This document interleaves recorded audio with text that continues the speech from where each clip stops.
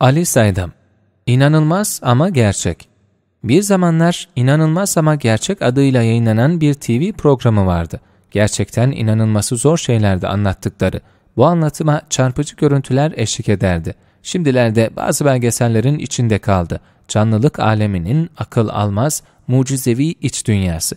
Sosyal medya ortamında bazı fake, sahte, kurgu görüntüler hariç bu inanılmaz ama gerçek numarası sıklıkla kullanılır ilgi uyandırmak, şaşkınlık yaratmak, eğer içerik güçlüyse algıyı artırmak için işe yarayabilir.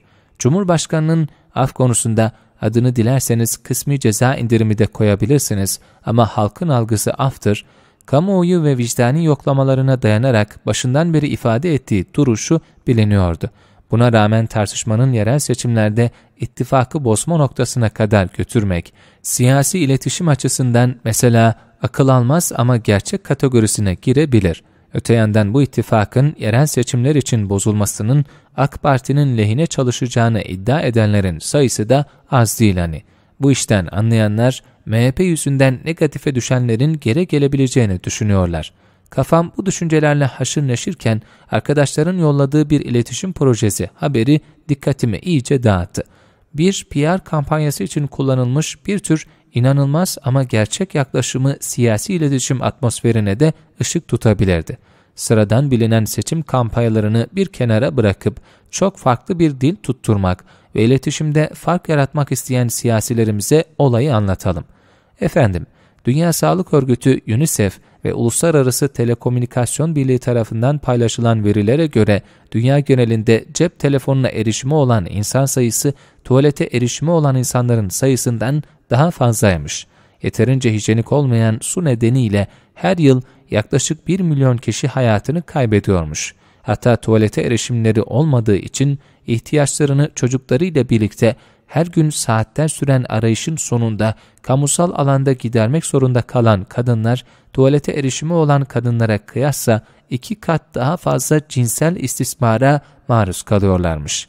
Rekit Bankister grubunun temizlik markası Harpic, söz konusu araştırmadan yola çıkarak hayli ilginç bir fikir geliştirmiş. Dünya çapında her üç kişiden birinin tuvalete erişimi olmamasını konu alan bir farkındalık kampanyası başlatmış. Mümkünse yazının burasında durun ve şu videoyu bir izleyin. Videoda bir mekanda tuvalete girmek isteyen her üç kişiden birinin tuvalete girmesini engelliyorlar. İnsanların verdikleri reaksiyon olağanüstü.